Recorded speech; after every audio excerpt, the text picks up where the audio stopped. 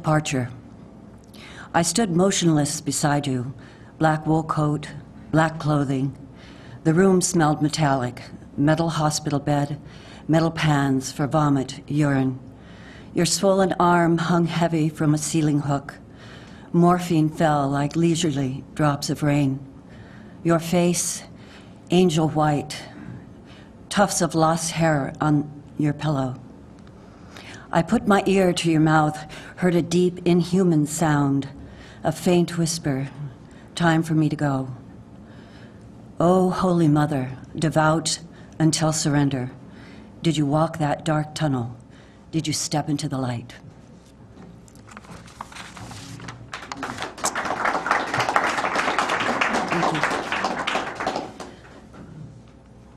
Unfit. If I disappeared, the problem disappeared with me.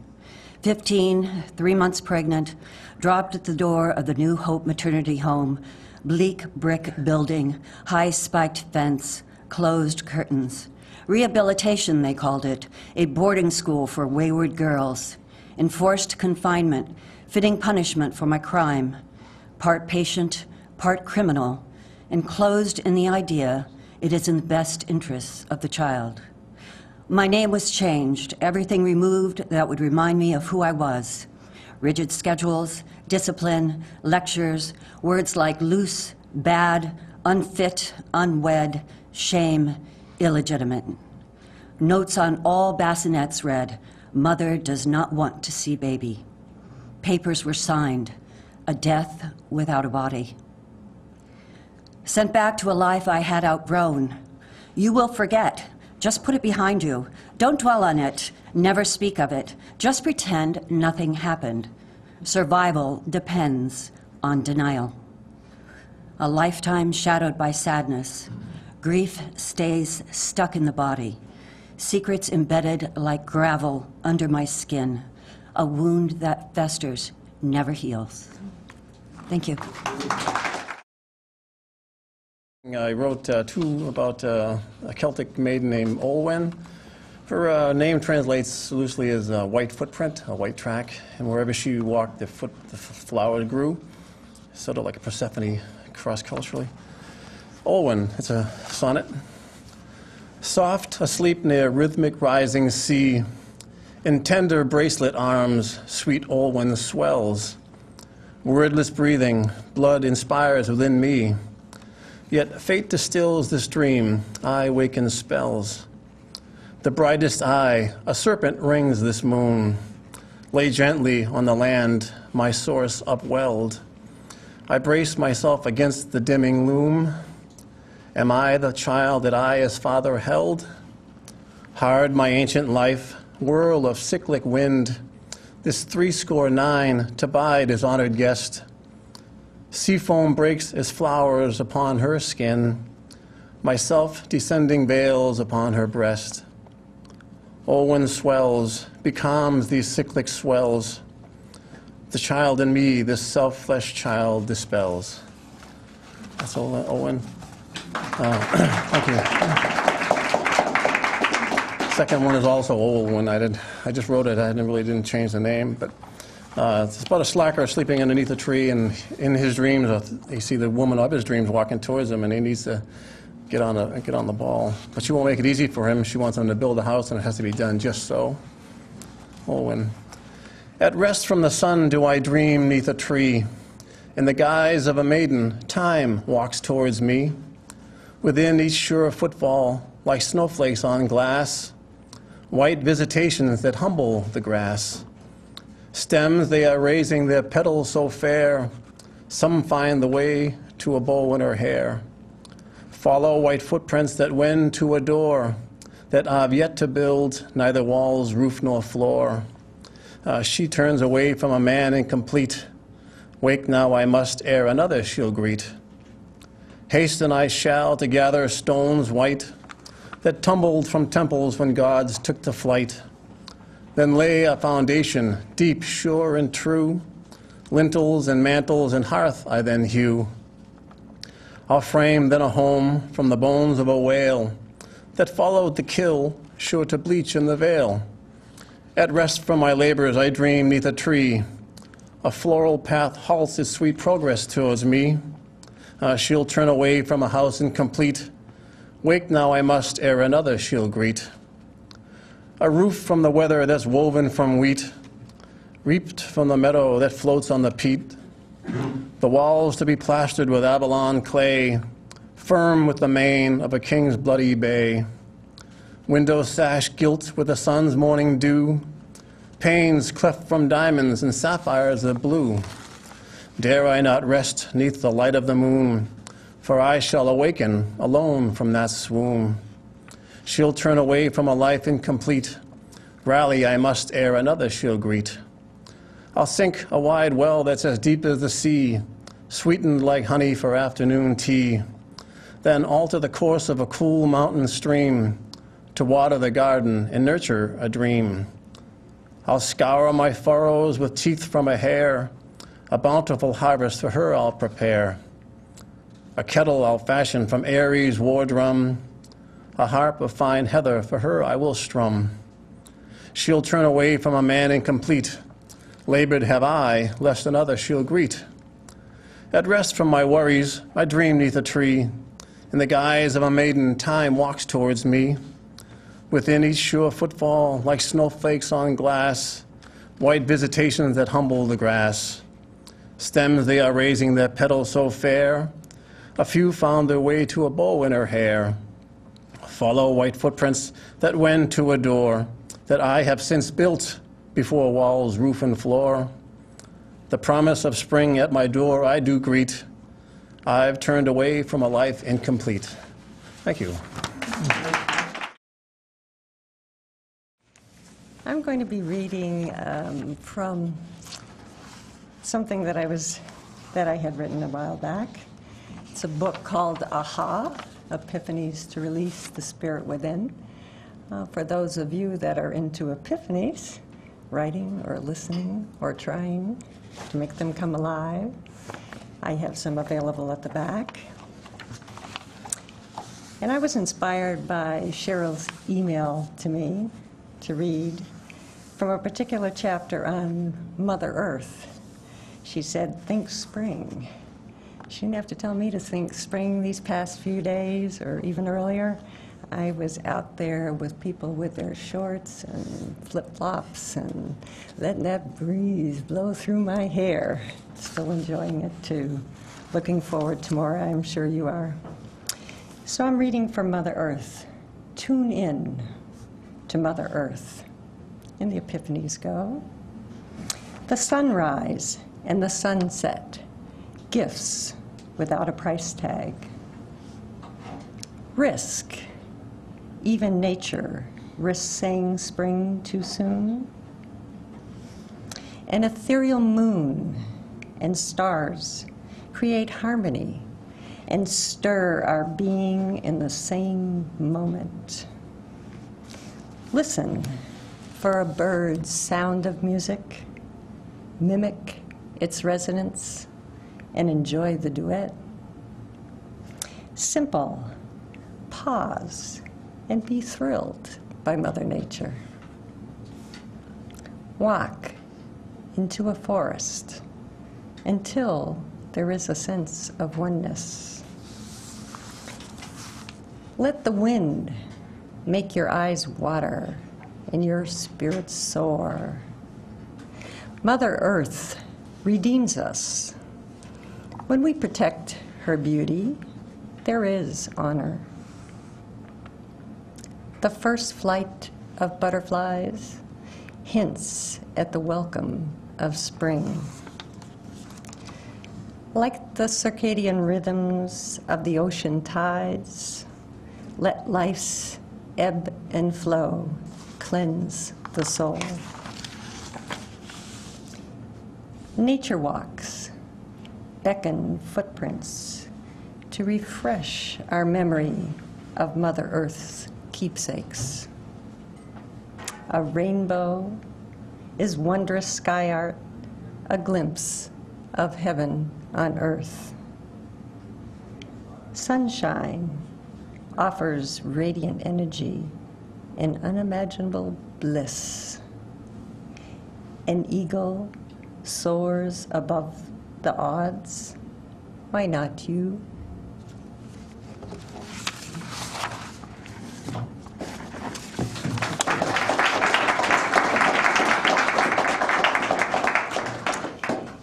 And in the feisty spirits, uh, spirit, excuse me, of shamrocks and more, um, I'm still delighting in Bridget's Circle and how it unfolded all of us still unfolds me and the rest of you that have read thus far.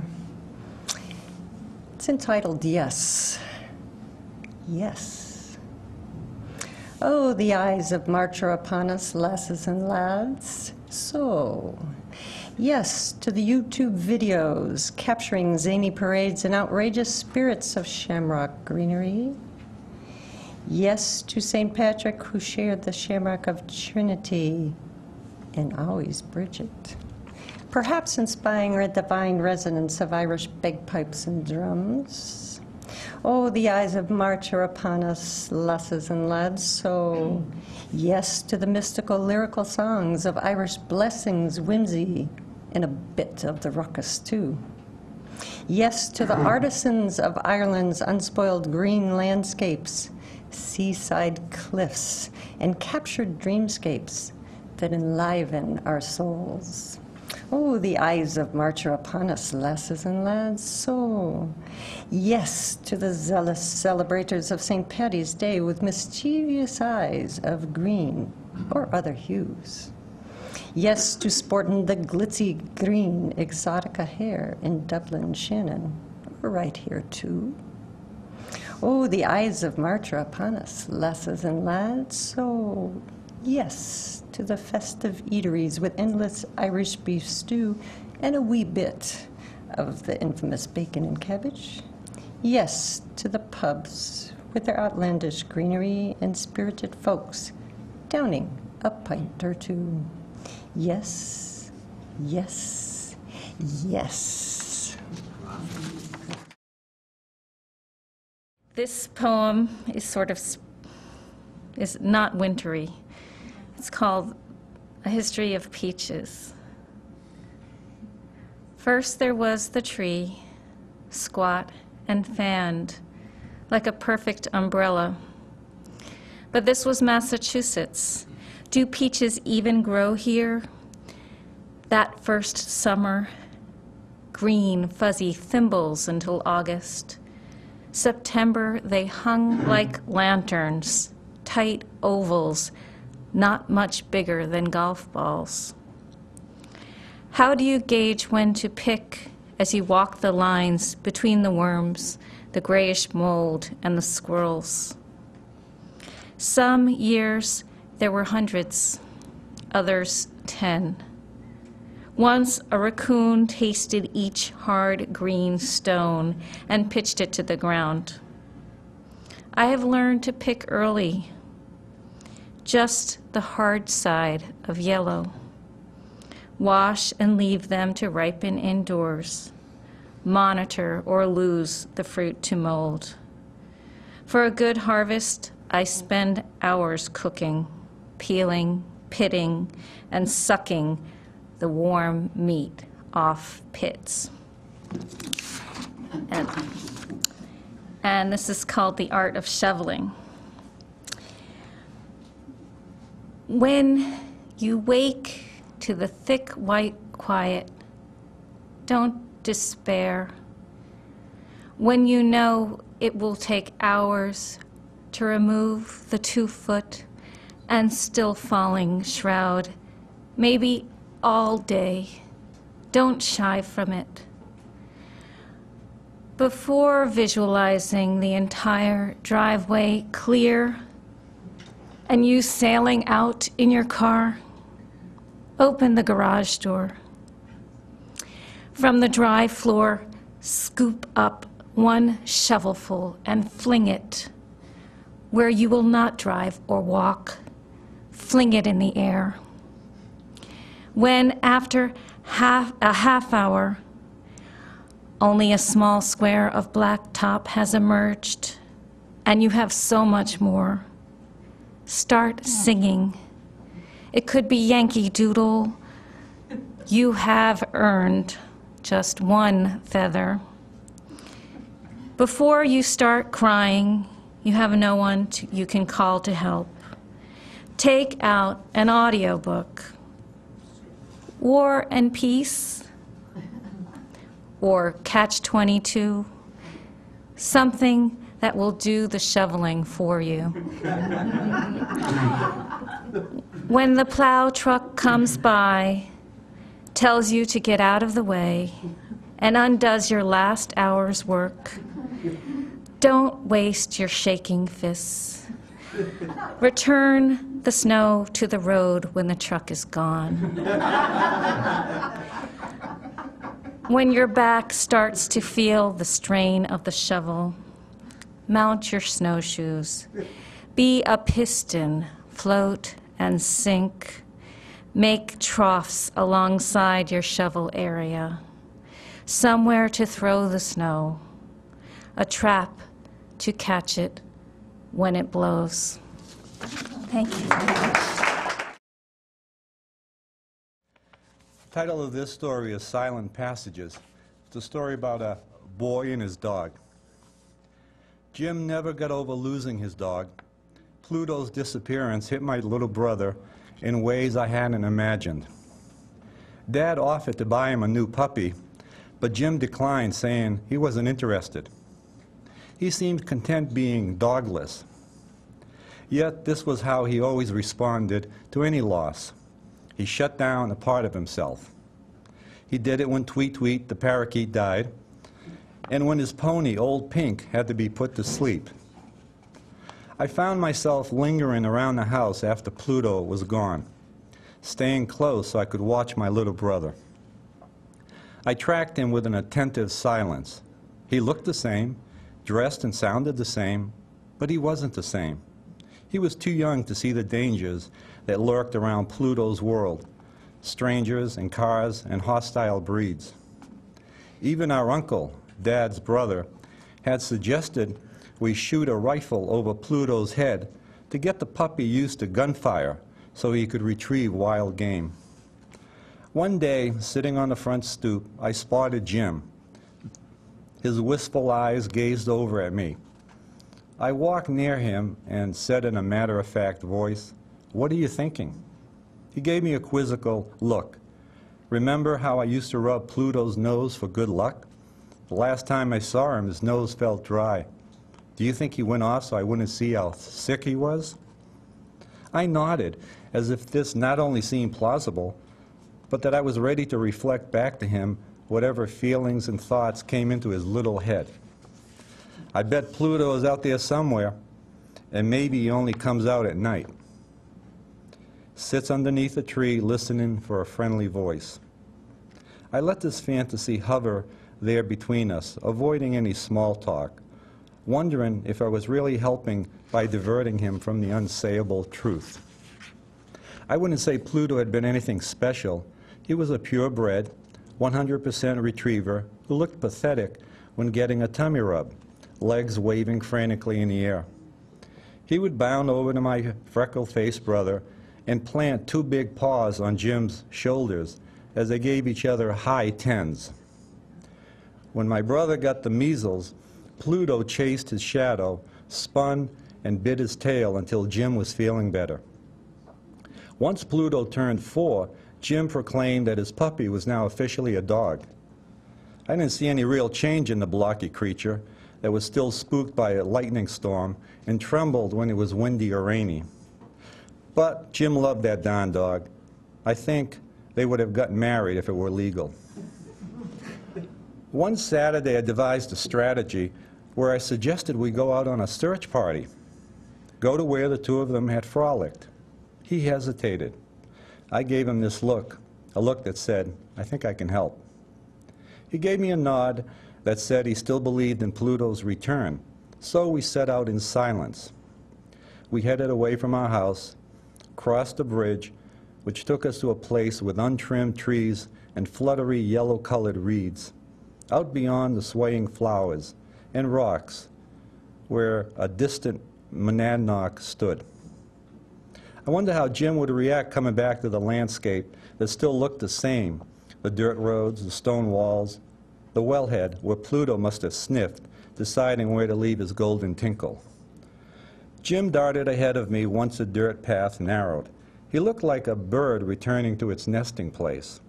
I was feeling good about my plan, picturing my kid brother pulled along by Pluto, leading him away into a widened, unpredictable landscape, one my baby brother wouldn't have seen if not for this dog. I imagined them clambering up a knoll, gravitating along the hills and streams, each one trying to get by the best they knew how.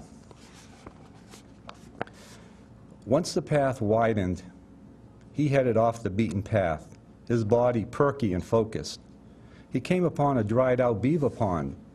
I stopped a few feet away. I felt as if I no longer knew my brother. If someone had been looking down on us, seeing him in his world, and me following behind with my thoughts, it might have seemed like we each inhabited a separate border framed by the wider landscape. We found no signs of Pluto's whereabouts. After another hour of walking, we stopped by a catch meadow nestled along a hill. We thought we heard a half bark. When the two of us turned, the woods were still. I once came here with Pluto, said Jim. I stared over at his contorted face. It stunned me. I began, I became disappointed as he moved away on a path that narrowed. I wandered off by myself. I headed down the side of a hill, sliding along the rocks that brought me to the bottom.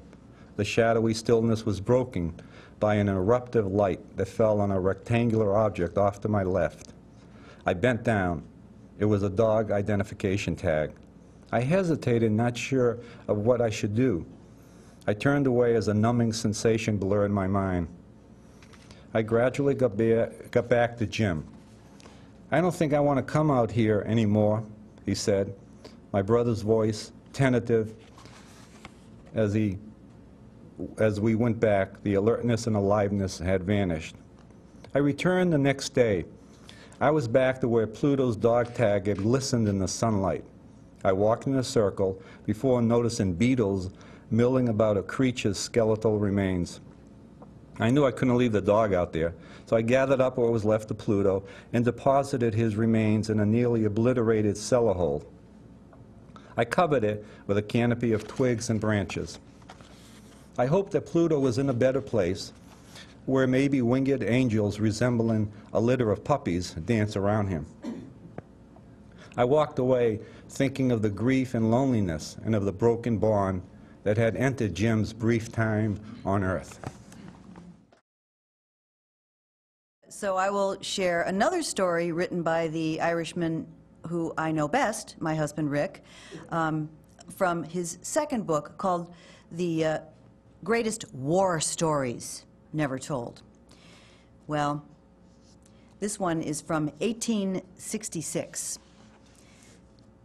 The Fenian Fiasco, as it is subtitled. The day the Irish invaded Canada. They came across the border the night of June 1st, an army of Irish American nationalists, Fenians, as they called themselves, ready to fight and die to free Ireland from British rule. So, what the heck were they doing in Canada? Well, their goal was to seize the British territory's major cities and use them as bargaining chips to negotiate with England for Ireland's independence. Clearer thinkers among them understood that this was far fetched, but hoped that an invasion launched from American soil would start a war between the U.S. and Britain that would result in British troops being pulled out of Ireland.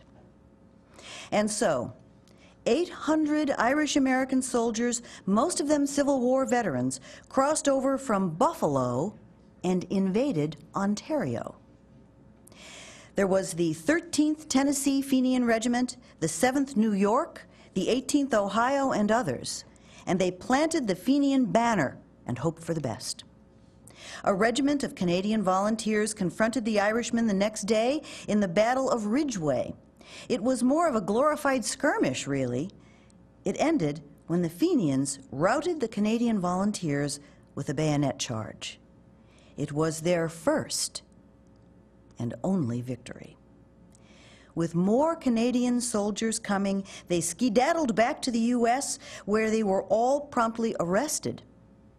Another group of Fenians who crossed over from Vermont into Quebec were similarly unsuccessful.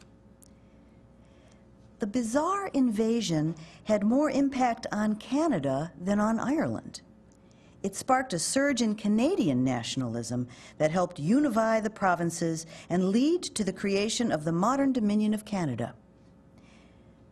Irish independence would have to wait another 50 years.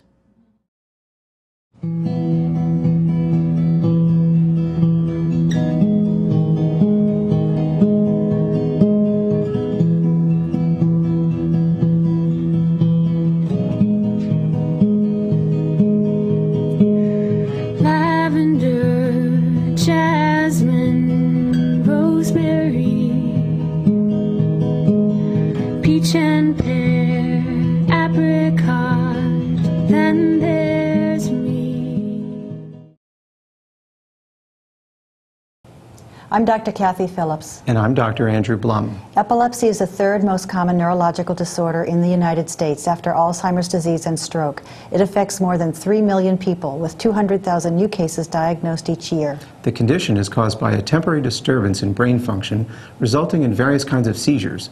These seizures can produce involuntary movements, changes in awareness, altered behavior, or loss of consciousness. Epilepsy is a major chronic medical condition and can affect a person's quality of life similar to arthritis, heart disease, diabetes, or cancer. It can limit activity and cause pain, anxiety, or depression. It can also be life-threatening. Because epilepsy can also present non medical challenges such as discrimination and social stigma, we urge you to learn more about this condition. To find out more about this disorder, including its symptoms, diagnosis, and treatment, visit epilepsyfoundation.org.